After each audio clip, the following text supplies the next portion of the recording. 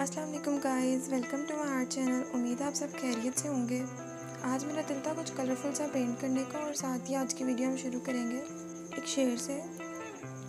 एक चेहरे से उतरती हैं नकाबें कितनी? लोग कितने ही एक शख्स में मिल जाते हैं।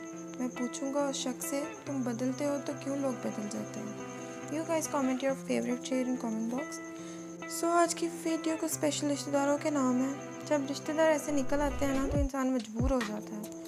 उन्होंने पुट्टी पुट्टी वीडियो बनाने ਦਾ अच्छा कोई शौक नहीं है मैंने ऑल राइट और अगर आप भी ये प्रॉब्लम फेस कर रहे हैं तो उन्हें आग लगाने का एक सिंपल तरीका सिंपल एक स्टेटस अपलोड करें स्टेटस पे लिख दें कि शुक्र अल्हम्दुलिल्लाह विद द ब्लेसिंग मजी यकीन माने सब रिश्तेदार परेशान हो जाएंगे ਹੋਇਆ ਕੀ ਹੈ ਇਹਦੀ ਜੌਬ ਲੱਗ ਗਈ ਹੈ ਇਹਦਾ ਵੀਜ਼ਾ ਲੱਗ ਗਿਆ ਇਹਦਾ ਹੋਇਆ ਕੀ ਇਹਦਾ एंड हाँ थैंक्स मी लेटर और साथ ही साथ अगर आपको मेरी वीडियो पसंद आई है तो उसको लाइक कर दें और ऐसी ही पेंटिंग की और वीडियोस देखने के लिए मेरा यूट्यूब चैनल सब्सक्राइब कर दें। और अगर आपको मेरी पेंटिंग अच्छी लगी हो तो प्लीज़ मेरी वीडियो को लाइक भी कर दें। मिलते हैं अगली वीडियो में एक अलग टॉपिक के साथ। तब तक के लिए अपना ख्याल रखें, अपने रिश्तेदारों की परवाह बिल्कुल मत करें।